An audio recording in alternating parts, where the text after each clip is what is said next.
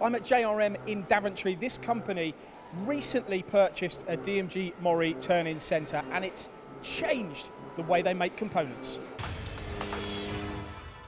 Alan, introduce yourself to our audience. Who are you and what do you do here at JRM? I'm Alan Beck, and here at JRM I run the turning department. Okay, now what we're going to find out in this video is how much time this new machine saves when turning components from using uh, or talking about a few various different aspects. Um, what have you found has been the major benefit from having this technology here, Alan? Major benefit is we've been able to complete components that are more complicated and on a lot quicker deadline time frame. And how has this machine done that? What what is it capable of? Talk to us about the axes that you have. It, basically, the stability of all the axes on this machine are a lot stronger with the C-axis and Y-axis capabilities. Okay, now this is a component that you've actually now that you make on this machine. If you could just pick that one up, the finished part.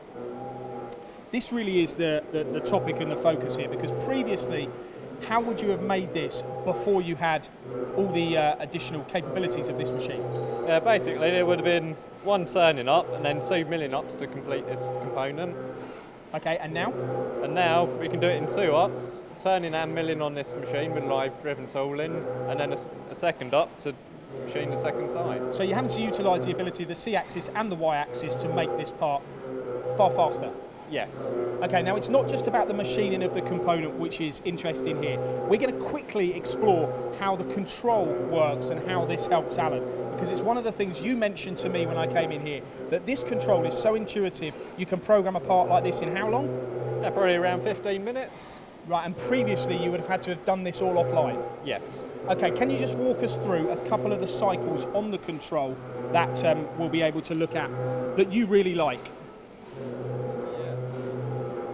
To uh, creating profiles for parts is nice and simple. Pretty much you put your diameters in, your depths of your, your components, and it's nice and straightforward. And talk to me about some of these uh, touch options here. Straightforward? Drilling? Yes, yeah, so I can just go into drilling, I can create a simple drilling cycle, whether it be a live off-centre tooling or on centre line. And how about if you're doing those more complex parts, utilising the y-axis? Is that easy to use in, you know, to program through this system? Yes. Yes. Okay. So what features would you use in order to do that? Uh, basically, I would go to set, yep, I'm in drill it.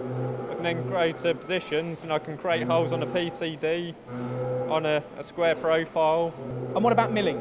Milling, you can go on here and we can create whether you want a pocket, a slot in the part, or even if you've got a complex profile to the machine, it's dead easy. Find out more about this control uh, from DMG Mori. You can go to their headquarters and have a demonstration. But it does appear to be so, so intuitive. Alan, how good is your life now you're operating this machine and what's changed for you as an individual? It's made my life a lot easier because we can produce the parts quicker, so it frees me up to do other operations.